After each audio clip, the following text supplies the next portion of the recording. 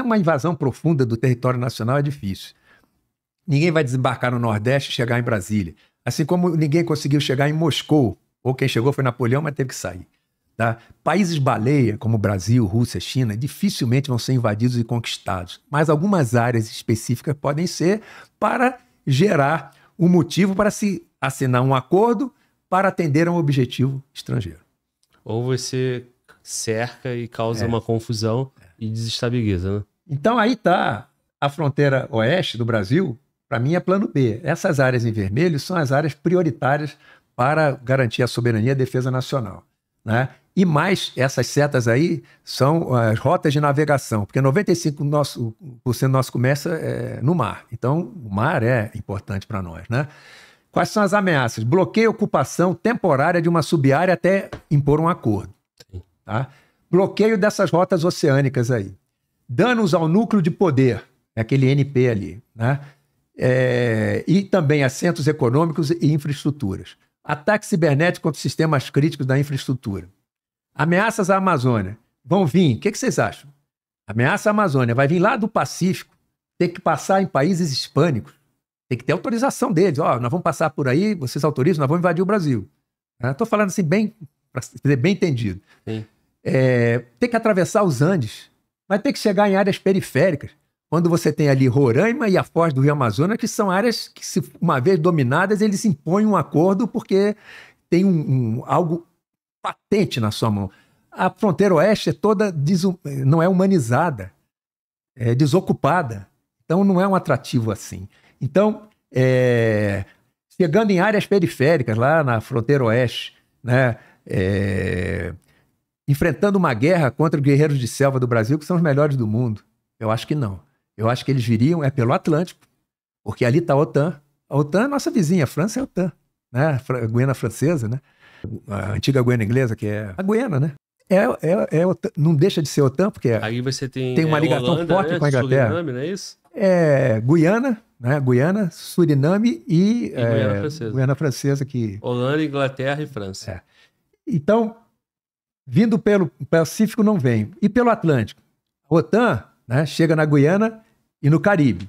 A quarta frota e o Comando Sul dos Estados Unidos estão ali em, em- ali na Flórida, tá? E as áreas estratégicas importantes que uma vez dominadas sempre está entrar na Amazônia, tá? estão ali em Roraima e na foz do Rio Amazonas. Então é por ali. O propósito não seria ocupar definitivamente a Amazônia, nem dá para entrar e conquistar a Amazônia inteira, porque é impossível. Mas você ocupando uma área dessa, como a foz do Rio Amazonas ou Roraima, você tem um trunfo para impor um acordo em que você vai ter que admitir, tá certo? Que os frutos da Amazônia, 60% fique com eles e 40% com nós, ou 70% com eles e 30% com nós. E tá tudo bem, a gente vai sair daqui, vocês não perdem um centímetro de território, mas perdem a soberania para explorar o patrimônio. E nós vamos deixar uma base aí, hein? pelo sim, pelo não. E aí tá, a ameaça à Amazônia não precisa ser especificamente na Amazônia. É, eu não sei se nós já estamos muito avançados na hora, né? Pode ir? né? A ameaça à Amazônia não tem que ser um ataque direto à Amazônia.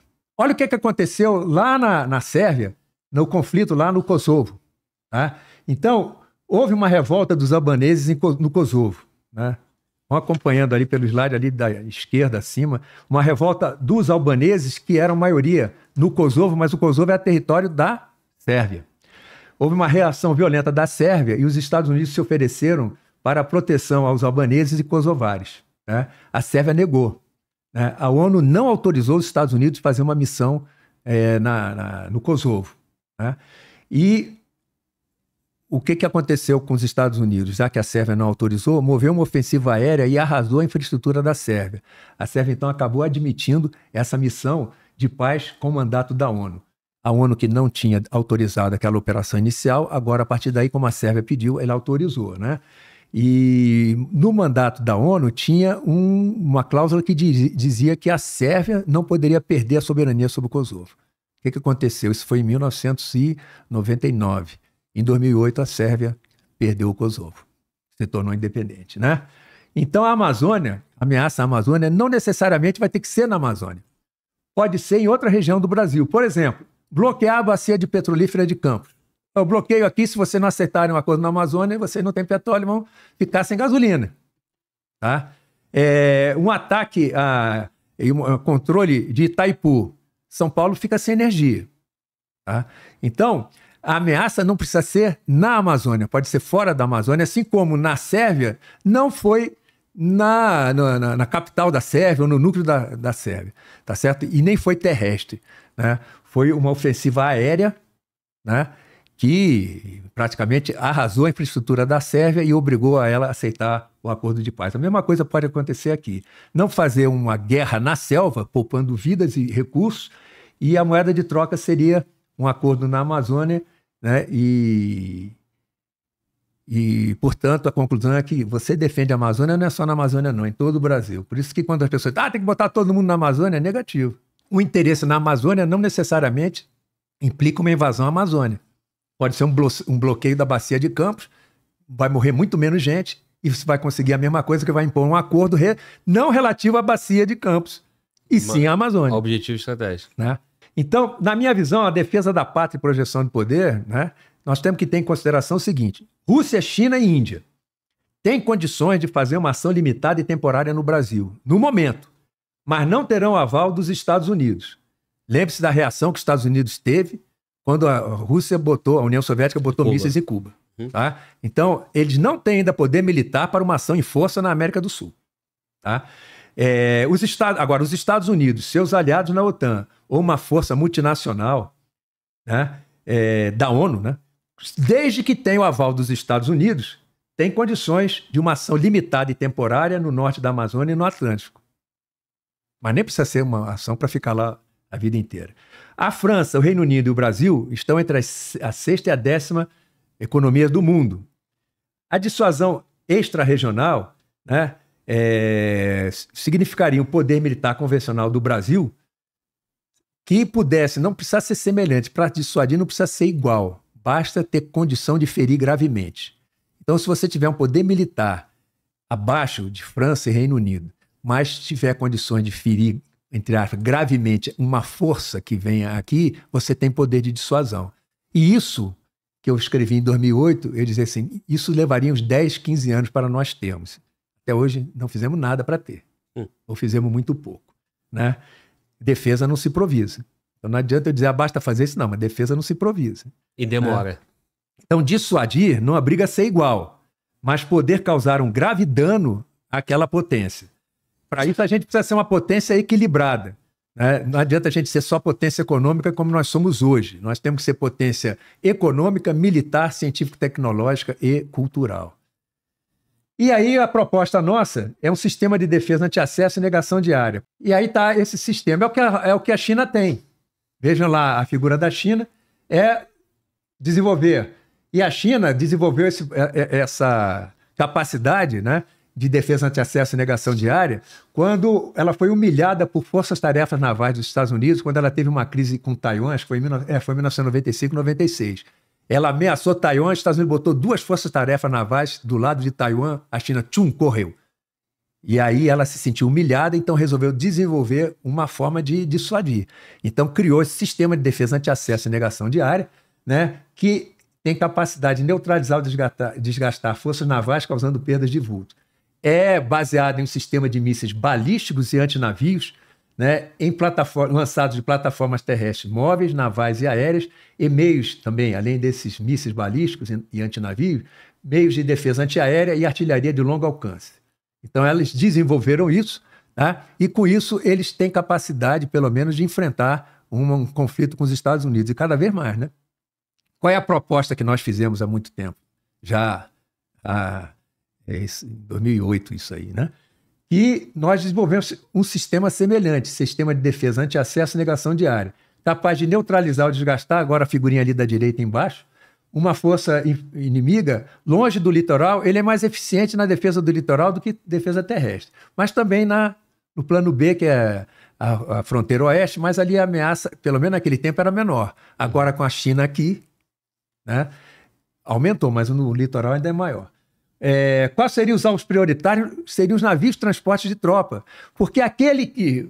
Não seria só o, o porta-aviões, aquele navio de transporte de tropa. Porque se o inimigo tomar conhecimento que você tem poder militar para afundar uns seis navios de transporte de tropa dele, vai botar quase 20 mil homens no mar, isso é poder de dissuasão. Eles vão pensar duas vezes, tá? Sem arma de destruição em massa. E aí, qual é esse sistema de defesa anti-acesso e negação de área? Guerra cibernética, né? Defesa e ataque cibernético, é dissuasor. Um sistema de satélite, monitoramento, controle territorial e marítimo e aeroespacial com satélite brasileiro, que se for satélite estrangeiro não adianta né? mísseis balísticos antinavio, quando a força-tarefa inimiga chega, se aproximasse, os dois primeiros de antes, quando se aproximasse, isso é dissuasão. Defesa antiaérea, já quando o inimigo estivesse no contato, com mísseis, isso é dissuasão. E forças de emprego estratégico e pronto emprego operacional regional, completadas por mobilização. Aí se o inimigo desembarcasse. Importante é neutralizar o sistema de busca de alvos do inimigo, porque eles vão estar buscando esses essas posições nossas, guerra eletrônica e guerra cibernética do inimigo. Nós teríamos que ter condições de atuar sobre eles. Ô, general, isso aí para implementar esses itens, 15 anos, pelo menos. 15, 20 anos. E com muito orçamento. Teria que ter orçamento de defesa para isso, sem dúvida. Mas se você não fizer isso, defesa não se improvisa. Se esperar ver para quê, morreu, amigo. Então, as capacidades desse sistema vigilância, monitoramento e controle, letalidade, mobilidade, adaptabilidade, dissuasão e outras que, que, que sumiram aí. E as capacidades extra-sistema, prospecção, estudos prospectivos, inteligência estratégica, guerra cibernética, é, elaborar e monitorar cenários de conflitos e mobilização, completar as forças, porque você não tem, você não tem condições de ter essas forças prontas é, no momento exato. Você tem que ter capacidade de mobilização. Né? Desde 2012 eu proponho esse sistema. Dissuasão, precisa reduzir o hiato de poder. Para ter dissuasão, precisa de reduzir o hiato de poder e ter uma mobilização eficaz. A mobilização é industrial, científico-tecnológica, militar e com grande autonomia. A defesa não se improvisa.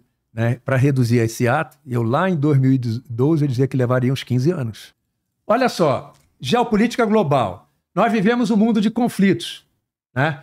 que geram oportunidades, problemas e ameaças. O mundo é um mundo de conflitos. Olha a primeira figurinha aqui à esquerda alto. Né? Só que os conflitos estavam lá do outro lado do mundo. Em todos esses conflitos estão aquelas potências dominantes, né? Estados Unidos, China, Rússia, é... hoje em dia a Índia, e também estão aí os dirigentes globais.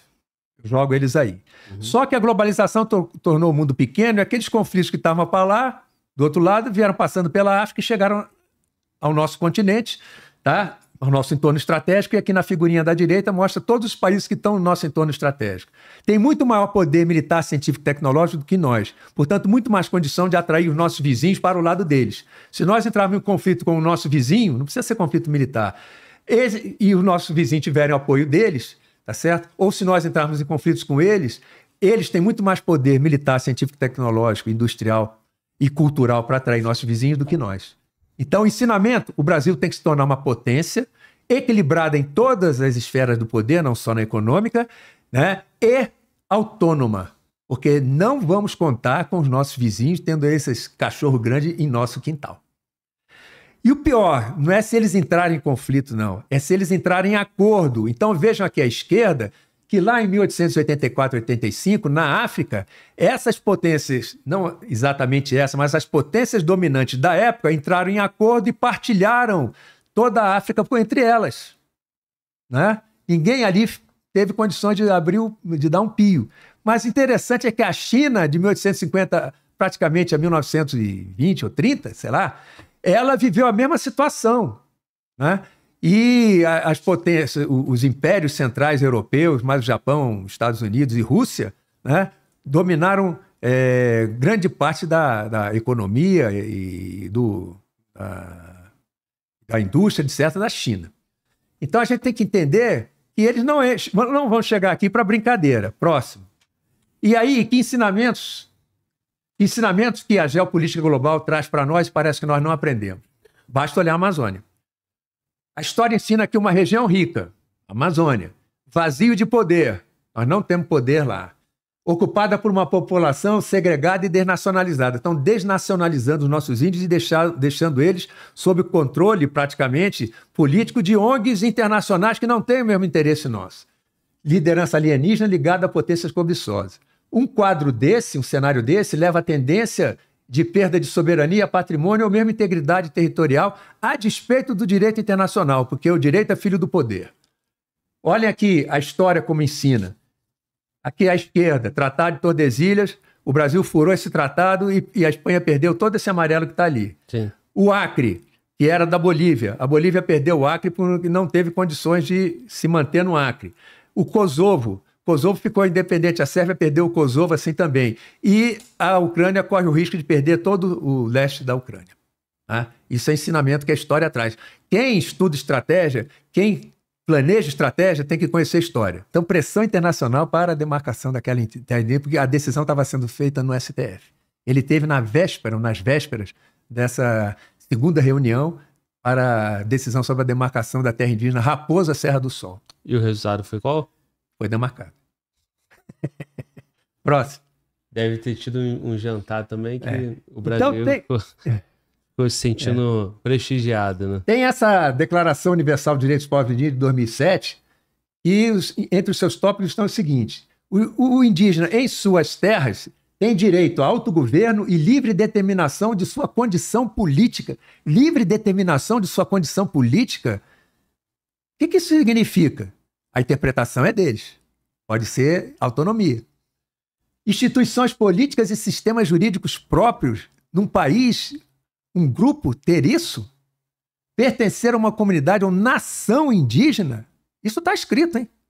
Basta procurar na internet que vão ver.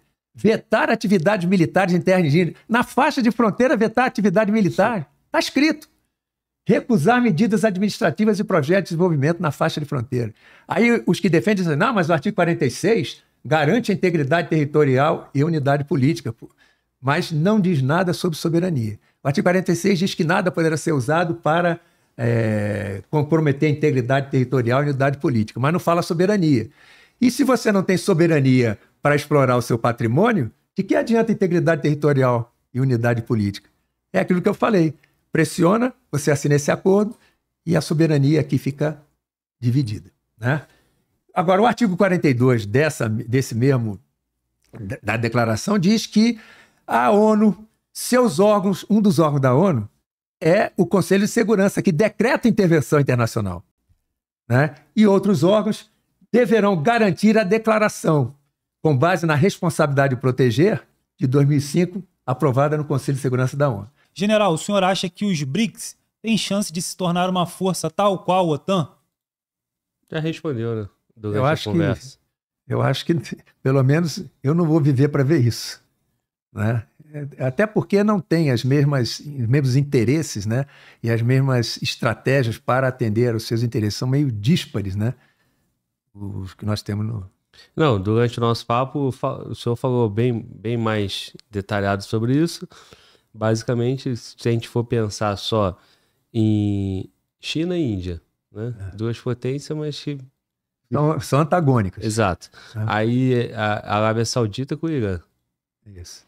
Né? Não, eu acho que é, é, não, é, não é uma grande coesão né, nesse grupo.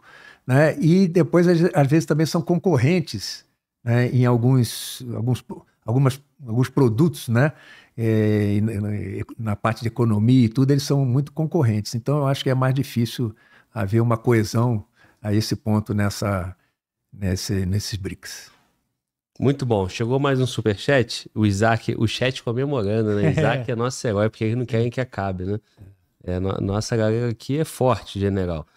É, Isaac, é, quando que o Brasil vai dar um murro na mesa e se tornar uma grande potência mundial? Isso é um, um exercício de... Depende muito, depende de quem for conduzindo o país, da nossa da liderança nacional e do próprio povo, né? É, o que, que o nosso povo quer? Né? Como é que o nosso povo se comporta? Qual é a educação que tem? Qual é a educação que é proporcionada para eles? Né? Que é, não adianta a gente estar tá saindo de um tipo de, de uma linha de governo para outra linha de governo, a gente fica andando de lado. Né? Nós temos que ter, aqui eu digo, aquele centro democrático, né? Um pouco à direita e um pouco à, esquerda, mas que conduza numa direção só, senão a gente fica andando de lado. Né? Muda o governo para cá, muda o governo para lá e fica andando de lado. Aí nunca nós vamos chegar lá na frente e conseguir chegar nesse ponto que você está dizendo. É isso. General, mais uma vez, obrigado. É, te agradecer e estou te aguardando aqui Tá. para uma próxima oportunidade. Eu aqui agradeço e quero deixar claro o seguinte: mostrei aqui um monte de dificuldade, né? Mas não falei sobre nenhuma impossibilidade. Então, o que a gente vai ser no futuro só depende de nós. Uma coisa é a gente começar e parar no meio do caminho porque achou que ficou velho e está cansado. Não, eu só vou ficar velho e cansado depois que for para debaixo, debaixo da terra. Até lá, enquanto eu puder andar, enquanto eu puder pensar, eu vou ver o que, que eu posso fazer pelo meu país, tá certo? Porque eu nasci no dia 7 de setembro e nasci na hora da independência. Então eu sou brasileiro até o fundo da alma e sendo brasileiro eu vou até o fim, eu não desisto.